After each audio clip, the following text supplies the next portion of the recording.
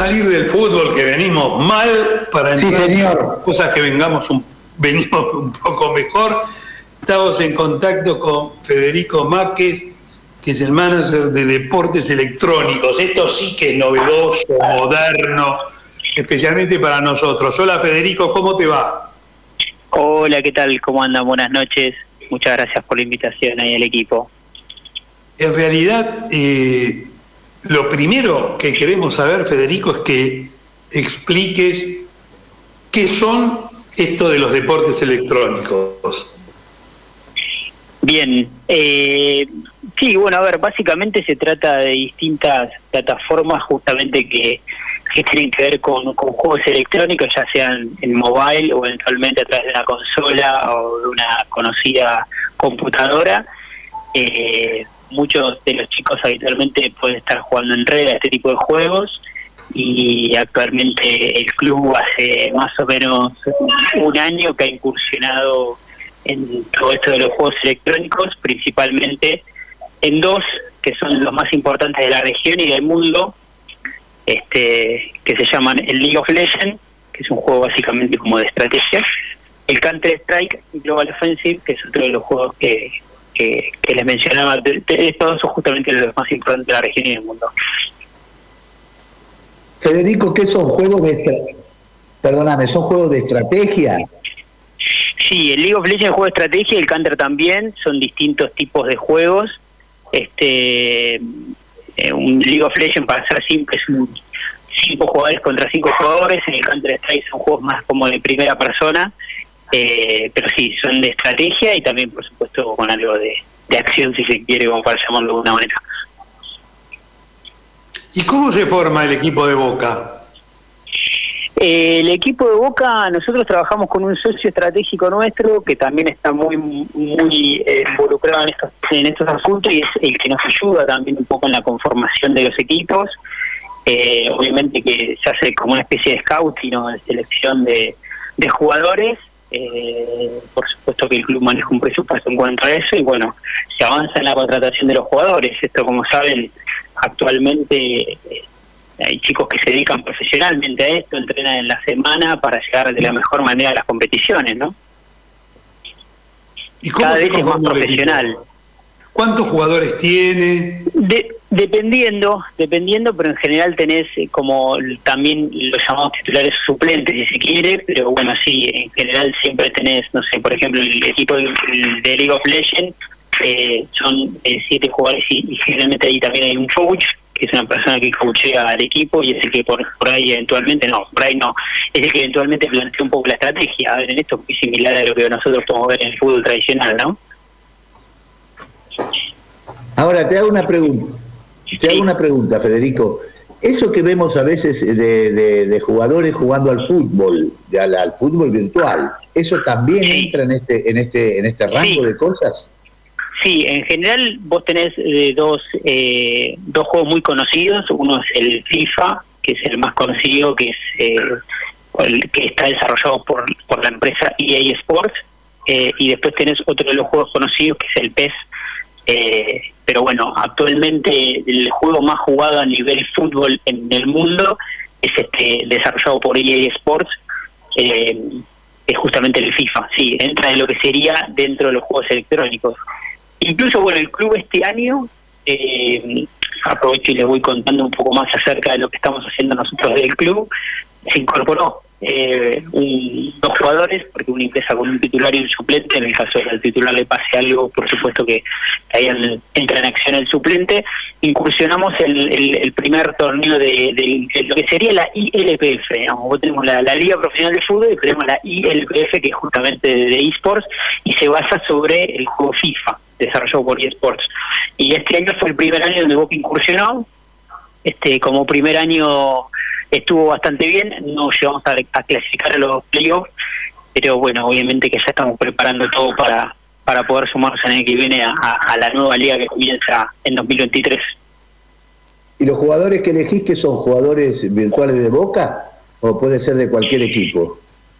No, no, no, pueden ser de cualquier equipo, digamos, no es que tienen una, una, en general hay gente que tiene una afinidad con el club claramente, eh, es importante, hay un sentido de pertenencia por supuesto, que no son ajenos a todo lo que sucede en el mundo Boca por supuesto, eh, pero el jugador en sí es un jugador que ya viene con una trayectoria y que viene con un reconocimiento eventualmente, se trata de salir al mercado a buscar algún jugador que haya tenido algún tipo de, de, recorrido, de trayectoria ya, no es algo improvisado, me explico, no es que cualquiera, eh, nosotros salimos a, contratar a cualquiera que esté jugando al FIFA, sino que se hace una selección puntualmente en base a antecedentes y demás, ¿no? Ahora, Boca llegó a la final en alguno de estos juegos electrónicos, ¿no? Sí, Boca llegó a la final el viernes pasado eh, y en el llegó a la final del torneo más importante de League of Legends eh, justamente de la L, LVP, de la LVP, de la LV corta P, digamos, eh, de la Liga Master Flow, lo organiza básicamente el naming es de Liga Master Flow. Eh, es uno de los equipos más fuertes del, país en, términos de este juego de League of Legends, uno de los primeros que mencionaba. Y, como le decía, es la, es la competencia más importante. Lamentablemente no pudimos obtener un triunfo, eh, se jugaba cinco partidas, al mejor de cinco partidas, eh, perdimos con el equipo más fuerte hoy que tiene Argentina, que se llama Leviatán. Y la verdad que nada, fue una muy buena performance de los chicos, con partidas muy reñidas también. En, las cinco han dado una gran batalla, pero bueno, no se logró el objetivo final.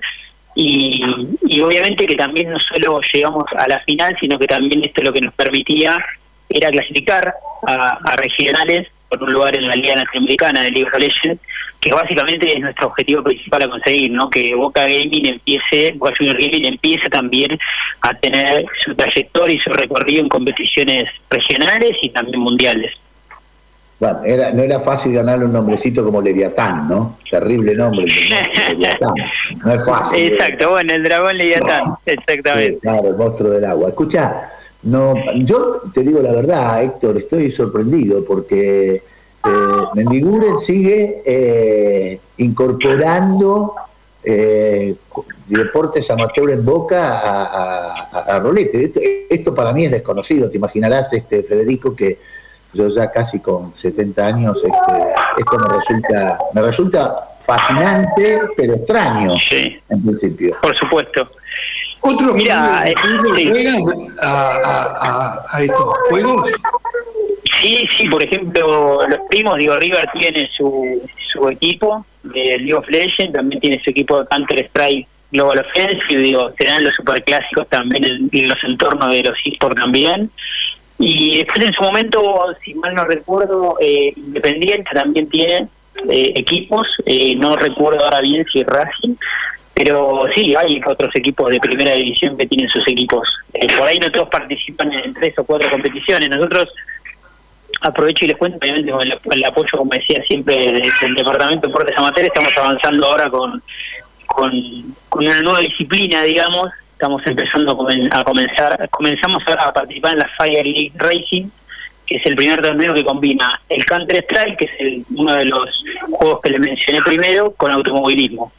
Y Boca va a estar presente en esta disciplina y bueno, vamos a contar con dos pilotos de Simi Racing para, para disputar esta, esta liga, este, que básicamente consiste en distintas carreras clasificatorias que, que, van buscando un lugar en la, en la gran final que se juega en, en octubre de este año ya de manera presencial. ¿no? Los eventos generalmente de los finales y demás, por toda la trascendencia y el volumen que está tomando cada vez esto, se están haciendo en lugares presenciales. Vos sabés que me comentaban que en Fórmula 1 eh, hay un mundial de Fórmula 1 virtual, este, que participan corredores, por supuesto, y que desafían a los corredores y que han derrotado a, Verstappen este, en, juegos virtuales de, Fórmula 1, que es eh, eh, lo más parecido, digamos, de hecho es el entrenamiento que realizan los corredores de Fórmula 1 para conocer los circuitos, ¿no? Sí, sí, no me quepa duda, no me quepa duda de que, de que es así, porque cada vez, bueno, también pasa eso, ¿no? Que hay una, una similitud, bueno, te lo puedo decir puntualmente por el FIFA porque no no soy un gran jugador pero cada tanto puedo jugar un rato y es cada vez más parecido a lo, a lo que es el fútbol una locura no pero a veces más parecido de lo físico de lo que de los movimientos del jugador desde las tácticas de la técnica de todo lado. Esto, estos deportes eh, electrónicos lo en Boca, ¿lo pueden jugar los socios? ¿Cómo, cómo funciona eso más allá del equipo competitivo? Bien, sí, a ver, nosotros estamos ahora con algún proyecto que tenemos con uno de nuestros patrocinadores. Boca tiene un patrocinador que, se llama EA Sport, justamente un, el, que hoy nuclea lo que sería el FIFA.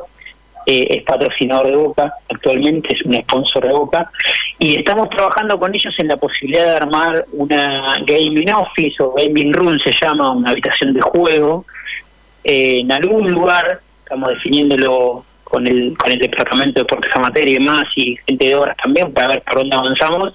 Eh, y que y poner un, un, espacio a disposición con consolas y demás que, que puedan ser utilizados no libremente pero sí con un control obviamente eh, donde eventualmente podamos hacer algún tipo de actividad o activación con, con socios a través de algún sorteo para que puedan participar y demás.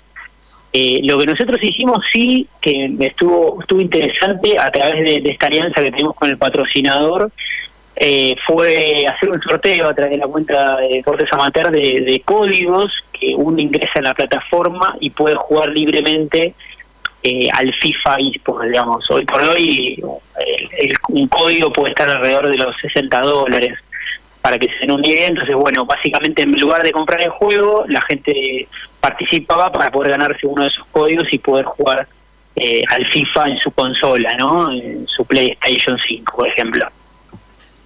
Bueno, Federico, una novedad absoluta para nosotros, ya gente mayor, este, nos encanta, nos parece muy bien que, Boca se, se, incorpore con estos deportes tecnológicos porque es lo que está pasando en el mundo.